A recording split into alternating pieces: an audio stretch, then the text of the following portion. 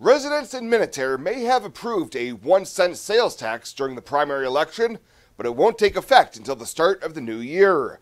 According to the minutes for their meeting June 11th, the Minatare Council was told by City Attorney Jim Ellison the county was late certifying the elections, which has delayed implementation of the tax. The State Department of Revenue says documents needed to begin collection of sales tax include a city resolution to impose the tax and a verified map of city limits, as well as certified election results. Scottsbluff County Election Commissioner Kelly Sides tells KNEB News the County Canvassing Board started their work May 24th, and the counting of the city's precincts could have been moved up, but there was no request to expedite either the results of the ballot question or the certifications needed by the state.